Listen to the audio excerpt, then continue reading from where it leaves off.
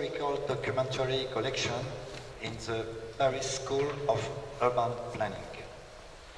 Uh, first, this collection in Paris uh, was created uh, from an accumulation of documents, reports, uh, administrative and educational files from the ancient uh, Paris Institute of Urban Planning, created uh, exactly a century ago, after the First World uh, War. It is now called uh, Bibliothèque uh, Poète et with the name of the two founders of the education and training in planning in France. Uh, this commitment, my commitment in this uh, management is uh, twofold. Uh, first, to preserve uh, historical documentation in a training school for uh, tomorrow's uh, urban planners, my students. And it is not easy because in France, as uh, elsewhere, town planners are paid to prepare the future. And uh, much to, to look too much uh, at the past is, is, uh, is difficult. Uh, but um, it still uh, seems important to me that urban uh, planners control their technique and professional memory as uh, architects or engineers. After many years, uh, this very opportunistic and ideologic argument is understood by the authorities of the university. The new director is German, uh, understand it uh, better than the other. um, so the second uh, commitment is uh, to remove the ambiguity between uh, um, and the collection and transform this collection into a library, which means uh, that we have transmitted archives, uh, defini- defined uh, like unprinted documents to the competent institutions in France, Archives départementales, Archives nationales. Uh, Josefina uh, uh, showed us yesterday um, that she's doing the same with the documents of the Pueblos de Colonización in the uh, library of the um, School of Architecture in Valladolid. Finally, uh, in Paris, um, this uh, historic town planning library had to find its place between the public archives and uh, more general university libraries, specialized libraries in or documentation center in the university, in the, in the town planning school, uh, urban planning school. But it remains very special, uh, however, because it uh, alongside classical books, but very numerous reports of administrative and technical literature, which are not well preserved either in libraries or in public art archives. We call it uh, in French grey literature, and uh, we have a very big problem in, in France to the conservation of uh, grey literature, literature, administrative literature. Uh, now my uh, research uh, experience. Apparently, the archives of urban planning exist. These are, for example, plans, projects, and all the documents produced by the specialist uh, surveys, uh, which were organized uh, in all European countries in the 20th century. This production is very characteristic of uh, a century that has made urban planning a major area of collective action. And this is an essential uh, observation to uh, our uh, program, uh, Urban East, of course. And we have seen it uh, with you, Bertrando, with Italian cities, Bergamo, Bologna, or in this exhibition with, about Valladolid and all the plan of uh. But I would like to say uh, today to the young researchers uh, who are here. Uh, we must uh, also adopt uh, the very comfortable evidence of this notion of urban planning archive. Uh, this means don't limit research to these documents. It's very important. Why? First, these documents are uh, scattered. It is impossible to unify them in one institution or center. For example, we have uh, the archive of the state, regional, local, and so on. A lot of and a lot and a lot of institutions produce urban planning archives. And behind uh, an apparent institution, there are other institutions more discreet, but uh, very important. Uh, they leave uh, fewer written traces, but a lot of heritage in the city as uh, it is built. We have seen it yesterday with uh, Josefina, with the example of the Instituto Nacional de la Colonización and the Sindicato del Hogar.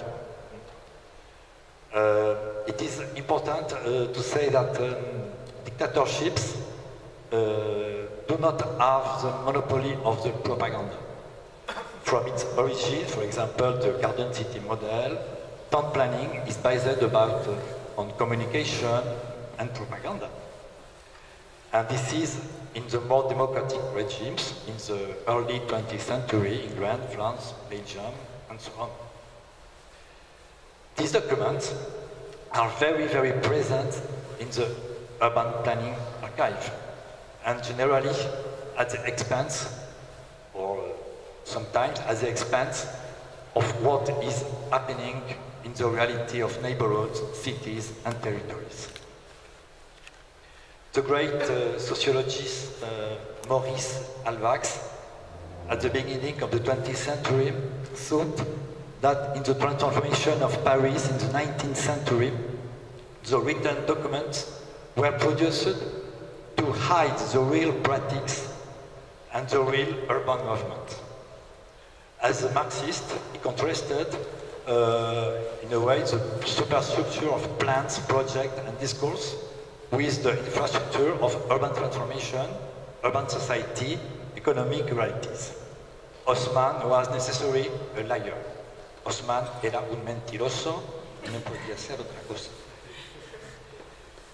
It's a very radical position, of course, applied in this time, uh, in, uh, in this uh, 19th century, where uh, there are not officially urbanists. But uh, it has always been very useful to me to criticize what urban planners say about their action in all the 20th century. It's important to not believe them a priori and to consider that the plans and projects which constitute, which constitute the heart of uh, urban planning archive have a very complex relationships with reality, like all the representations.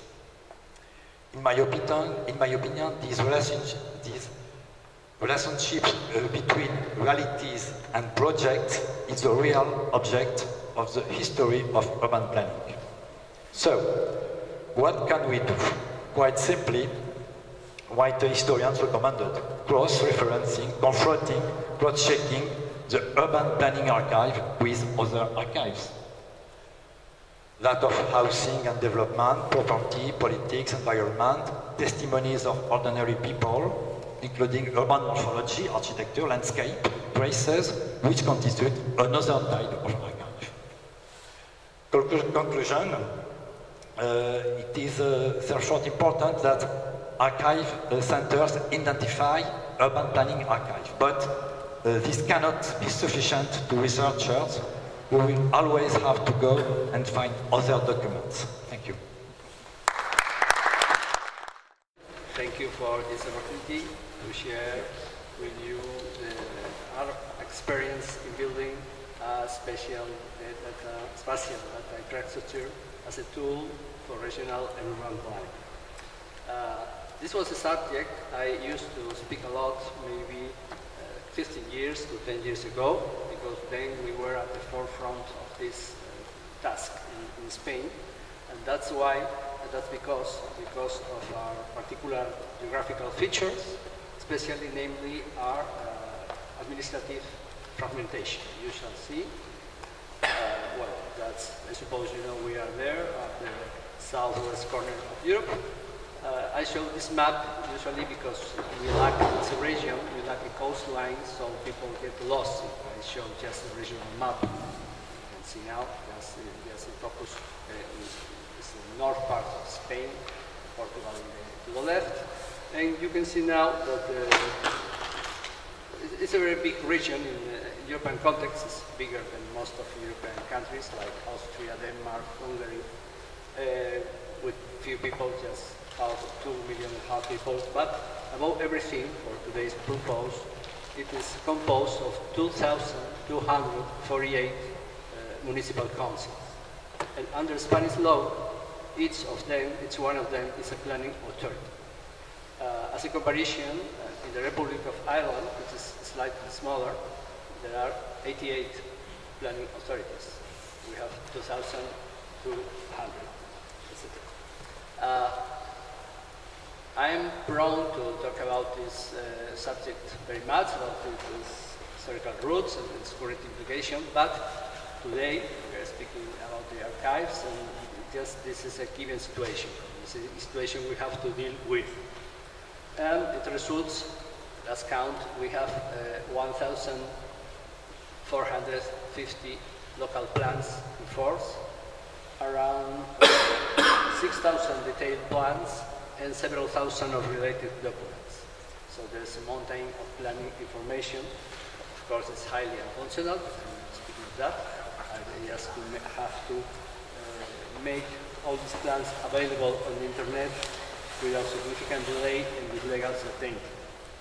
And of course, I, I always um, speak of this uh, subject from a bi biographical point of view because uh, it was, uh, we started at 1991 when I was a freshman of 27 and I had to uh, take in my arms a high pile of plans, of plans in, in paper and take it to the digitalization process. Well, um, now we have got a fully operative plan information system, which is constantly updated and yes, constantly updated, both for adopted plans and for those in the process of adoption. And these are the main elements of the system. We are talking specifically of the second three. First, very quickly, norms are the first element of the system. I mean regional planning acts and regulation that makes compulsory to upload uh, planning information, especially during the, the, process of public consultation prior to the adoption of, of any plan. And nowadays, that's, it's all but obvious, but it was not so much 21 years ago. And also, it may seem superfluous if you work with 88 planning authorities, because you can round them all in this hall and explain what they must do. Again, if you deal with 2,000 planning authorities, you have to make a regulation, acts, and so, and so on. Very quickly, the second and third part of this element deal with the objective of making planning as homogeneous as possible from the formal point of view, to make it easy to work. Uh, a common planner and architect, uh, engineers have to work with lots of plans because there is a plan for every village. So they uh, must be as homogeneous as possible. So there is the IT plan is a, is a regulatory regulation, specific regulation. I mean to standardize planning. I mean, well, its formal aspects like acronyms, like uh, like symbols, like colors, files, and the numbers, the numbers, uh, the names of the documents, the formats and so on, that must be homogeneous in all the plans that are adopted in this region. So that helps the understanding if you are familiar with what one plan, you get familiar easily with the plan of the village, uh, of the city, uh, another, cities. And well, this is not in use anymore. We have, uh, during 10 years, we have specific uh, application for software. We have planners, but I think this, uh, I have to delete this image that is not more useful. It was useful during the, between 2000 and 2010. That's not useful anymore. Well, we arrive at the, at the core of the system. This is the last uh, real archives. This is where we have um, to store, the plans are stored and are available there is the PLA, P-L-A-U for planning urban, which is the uh, adopt, you can find there the adopted plans, the that are in force. And the PLAU-I is for plans that are in the process of adoption. So you can, during public consultation, you can there deposit uh, suggestions or just post the plan. Can make it physically at the municipality, but you can make it also uh, online here. This is what you see and this is our, some reflections and some data. Uh, so far, there are roughly uh, 13,000 plans and related documents available. That includes historical plants, plants that have no, no, not in force nowadays. Uh, more than 100,000 graphic documents and more than 1 million written documents. That's a mountain of information that's available. So what we have to do is to organize, to organize and make it easily, uh, but it's not easy, not easy if you have 30,000, 13,000 documents, it's not going to be easy, but we have to try to make it as easy as possible. That's what you see when you enter the system. In the middle is the PLAU for adopted plans, and to the right there is another window for uh, plans that are in the process of adoption. Um, well, there's a number of ways to find the plan you need. And of course, the more common is, uh, logic is to proceed from the province to the municipality and then to the kind of plan. There are other ways to do it. But you are, uh, by default, you are guided into the general plan. For instance, in the city of Valladolid, you have a general plan, and then there are, this is the, the biggest city in the region, there are uh, 500 uh, regulatory plans smaller areas, but they are guided to fall into the general, the general plan. Um, last step, last step is the uh, what we name the planning information system, which is a, a cartographic viewer with multiple uh, planning geographical information layers that is supposed to provide all the data you need if you are interested in a particular piece of, of territory. Access is made from the same site, Now we are in the left window. And this is another way, well, what it provides is a continuous view, not just of a piece of territory covered by a particular plan, but uh, benefits, we, we, make a treatment of the plants to make a homogeneous view all the plants in the territory. Let's see, it's better to see it. Now we see this is the south of the city of Valladolid, this is the municipality, uh, the, the, oops, there's a light. Yes.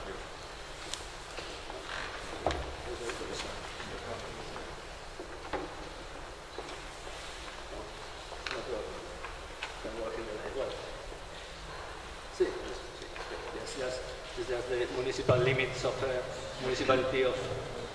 Oh. Well, it's not just you see here is uh, several municipalities are concerned in the, view.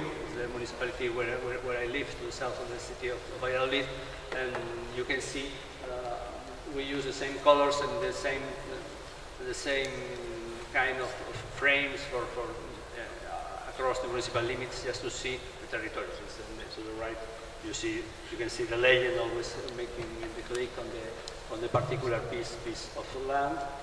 And well, you go, uh, I, I, was supposed to speak just seven minutes, so, so, I am going very quickly to the end, no? just to the, to the particular uh, piece of land where I, where I live, and so I am here entering the process of access to the cadastre page, page web of the cadastre to see the, uh, any kind of particular information about that uh, particular lot of land. So uh, just about technology uh, is accessible nowadays is just to put more and more information layers. And if you put all the uh, information layers on the image, you see nothing. So you have always to, choose between what kind of information you, you want. Well, uh, just to be, to be very brief, we, I, I, I wrote this last image uh, 15 years ago, and I, I'm very happy to see that this is still working. You know, 15 years ago it was a promise, now it's a reality. So I, I feel benefits for this system. If you consider uh, what the situation we have when, when I was 27 in 1990, well, you have more legal certainty, you have cost saving for companies and public bodies due to the availability of information, free information for everybody. Uh, well, it was important mm, 15 years ago in Spain, it was very important fighting corruption or the image of corruption and something that the urban planning was very prone to. So to insist on transparency and clarity was, was very important for us in those, those days.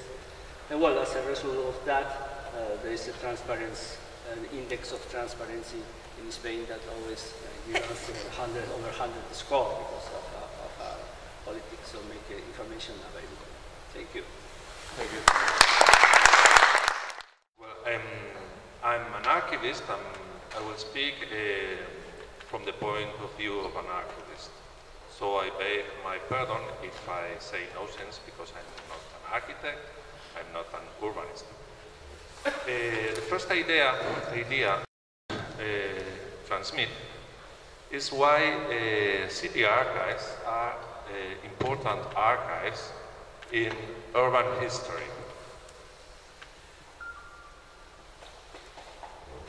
If we consider that archives are a mirror of the functional competencies and structure of the creators, an archive reflects the competence and the structure of the agency which has created it.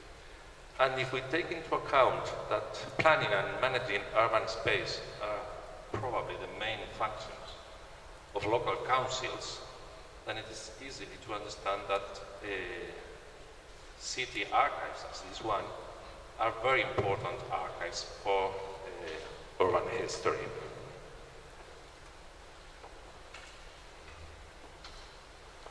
Let's have a look to the numbers, to the number of our, of our files. I will speak not uh, especially on planning documents, but also in general, including control of legality items and also applications files. So, this information is uh, come from our databases. From the 12th century to 1964, we have about more than uh, 225,000 files. It means more than 36% of the total files we have. But this, uh, this percentage increased in the period from 1965 to present, with an average of more than 66%. So it means that we really have a lot of documents, papers, or files, of items related to urban history. And the average rate almost reached 60%. Hmm? I think it's not necessary to speak more about. Then, uh, now let's have a look. Uh, once we have checked the meaning, the importance of the records on urban history, the general city archives, I will try to present a general view of the urban history documentary sources in Valladolid City Archives, which can take, uh, what can be taken as a model, as a pattern of every city archives in Spain. First of all, a historical overview of the sources from the 15th century to present, and then a brief summary of the main archival functions and the phases of archival management in order to understand what do we have in municipal archives and how we would treat these documents. Background, the old regime, very, very quickly. The council minutes, this is essential, essential uh, source, historical source of information for you. It is essential for the Middle Ages, for the old regime, because we have lost almost every file. But it is also very important in the contemporary times, in 19th and 20th centuries, because you will not find here any plans, any technical documents, but you will find here the decision information for every urban planning. Why? The council is the highest uh, decision organ of the council, and in the minutes of the council are kept every decisions, every struggles, every deliberation which concern to every matter of the town, the history of the town, including social context, economical context, historical context, human context, mentalities, etc. It is also important to notice that here in our archives there is a very rare and valuable document. You will see this file displayed in the exhibition.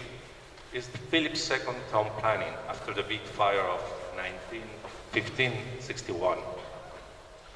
But uh, very much importance at the Enlightenment period in the 18th century with the Juntas Reales de Policía, juntas reales de policía were present in every town, every city in our country.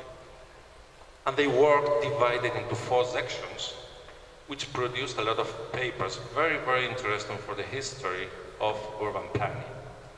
These sections were street paving and bridge repairing, street and road cleaning, including tree planting, street lighting, and damaged house, houses repairing. The 19th century is the basis of the contemporary urban planning. The most important uh, idea is that uh, due to the incredible uh, growth of our town, not only this town, but other towns, Valladolid had at the beginning of the century about 25, 30,000 uh, inhabitants, and at the end of the century, of the 19th century, reached the number of 100 inhabitants. So it was necessary to regulate, control this urban growth. And the council need two administrative tools. The ordenanzas de ornato, which are so a regulation, and the first uh, scientific map for the town. This is the most important thing or the most important item in 19th century.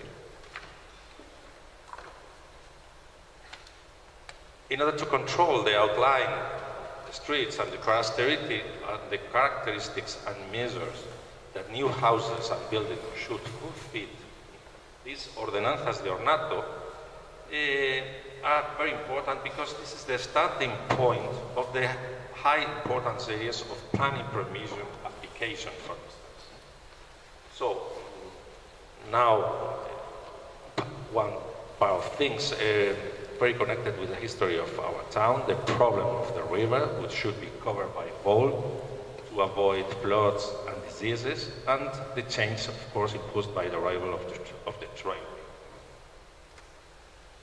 20th century is the century of planning. Urban planning, not only general planning, but also partial planning and urban development, development projects. And every kind of uh, activities related to control the private construction activities. So this is the famous planning permission applications and also the activities related to inspection of urban development. So the infringement proceedings and of course municipal public works. But we are only not only interested in the papers and the documents produced, produced by public agency, but also we are interested in documents produced by persons or institutions important for the history of the town. And in this case, we are in contact with uh, the son of uh, Andrés de Mesones. It was the author of the first uh, planning, general planning of the town. And uh, I hope that uh, in a couple of months we will uh, receive the private archives, archives, the private funds of this architect. So let's speak about our work as archivists. Is very important because in many cases researchers come to our archives looking for uh, some specific document without any, without any effort, without any success. I think, or I wish that uh, researchers know that uh, not every files, not every documents produced by the agencies uh, is sent, are sent to our archives. And to understand this reality, it's necessary to know how do we work. Our main functions are collecting funds, preservation activities, and also provide public service.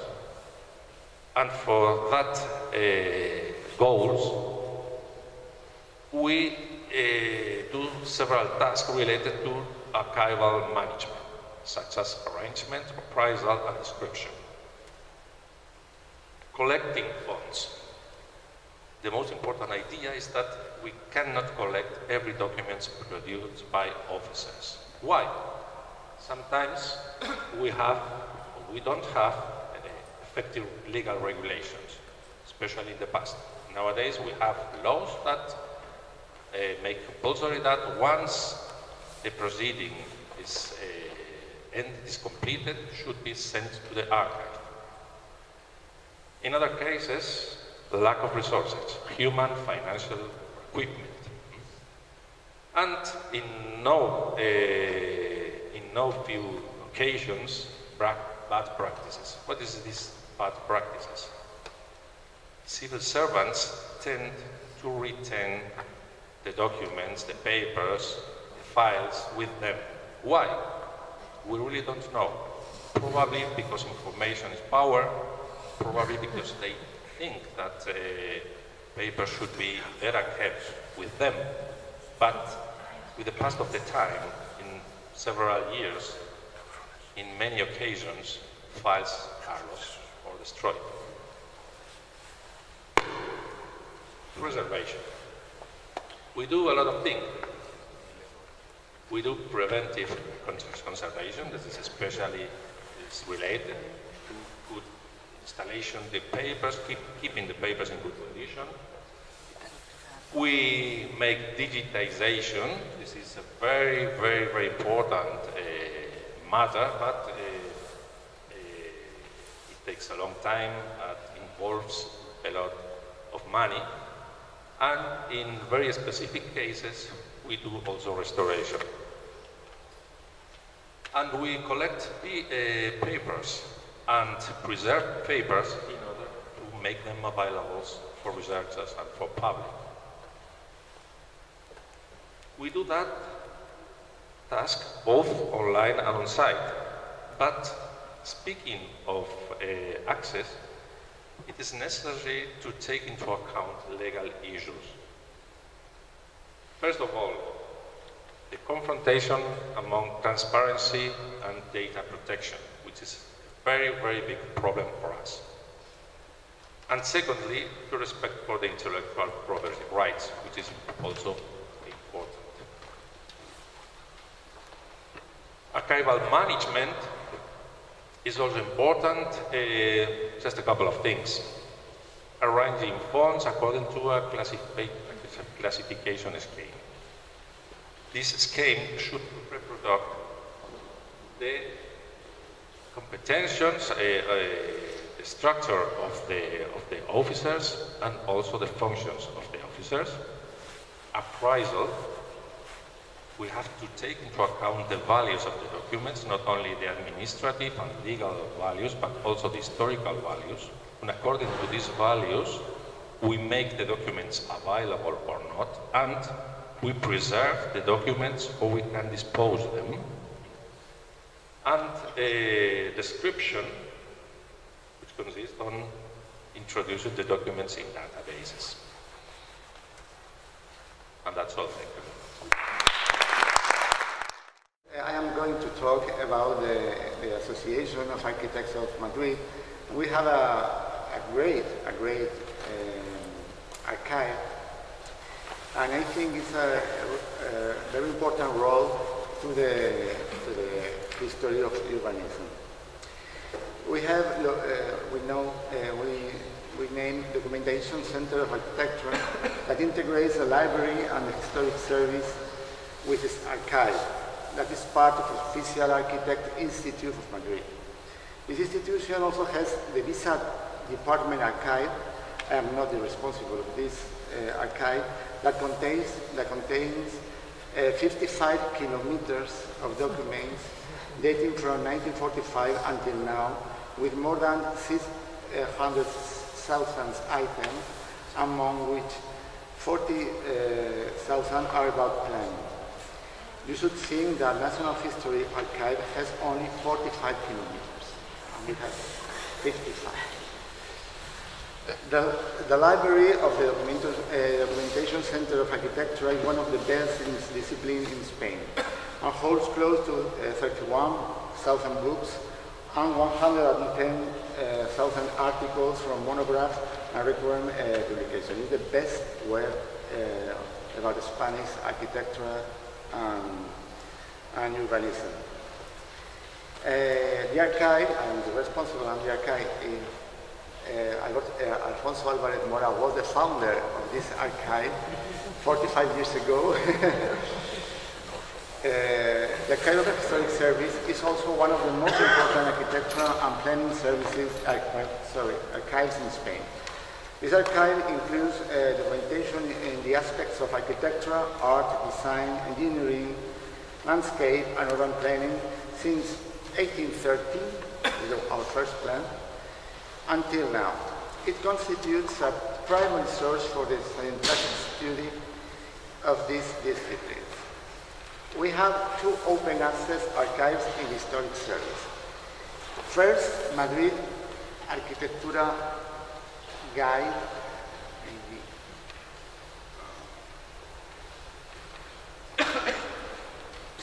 maybe is the, is the best uh, architectural guide in, in Spain. You can look for like the plane, by, by the street, by the name of the, of the building, by the offer, by the geography, the, the dates, the topology.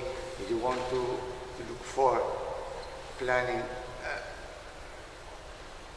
I don't know how to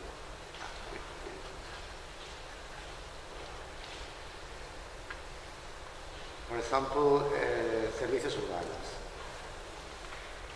Antigua, sorry.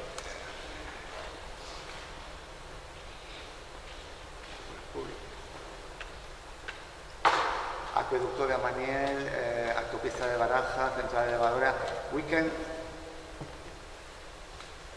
we can find a lot of documents in this web with pictures and original plans that we have digitized, digitized and put available in the, in the web. We have more than three uh, 1,500 buildings, monuments, parks and gardens and urban areas with 100,000 documents and 7,500 images digitized are available in the, in the web. And the second, and the second is the web open access web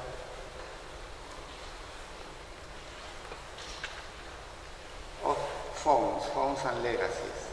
We have 65 phones of architects' offices, many of them, they are live. Yeah, alive, like Fernandez Alba, samples. And we have here 65, this is our Fondo Antiguo, the old phone, and you have 65 architects or offices that we have.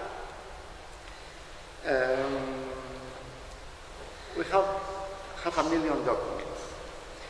Some of them, 44 phones, are already cataloged and inventoried, and there are uh, in them near to uh, 21,000 items and around 200 uh, million, uh, sorry, thousands documents with public access, including plans and drawings, notebooks, models, photographic material, boards, drawing tools, office furniture.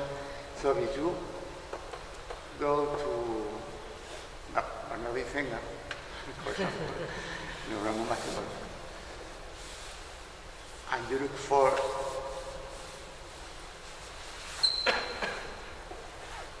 you can see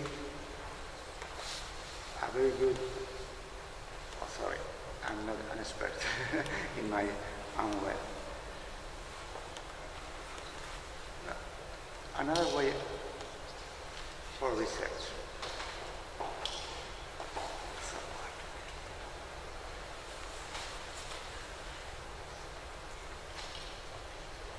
You can find more than 100 plans digitized of the Casa Huarte with the memories, with the whole documents in this project, in this item. And you can find a selection that we have done about our forms like plan de ordenación, eh, nation plan eh, for Playa Blanca in Lanzarote. No, it doesn't work. Oh, sorry, but it had. Mm.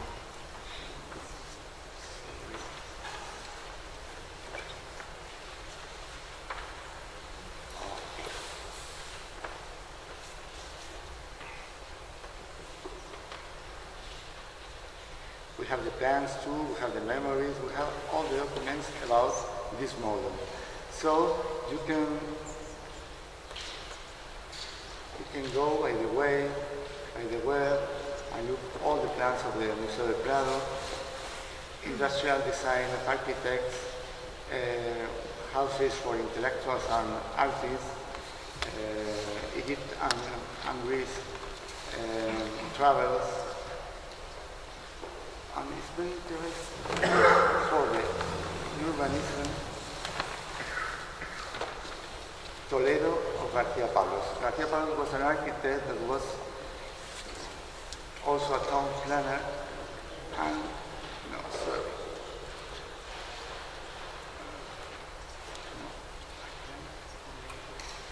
What? Just like- You can use the web Ah, here. because we have a beautiful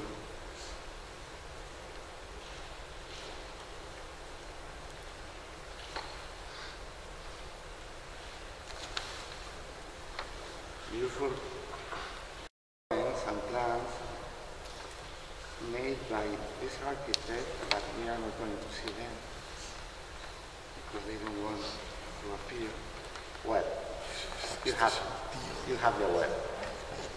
So it's really is very inter- interesting to know the, the evolution of the town plan in, in Toledo. Well, we have more than 40,000 images that have been digitized and are available in our website.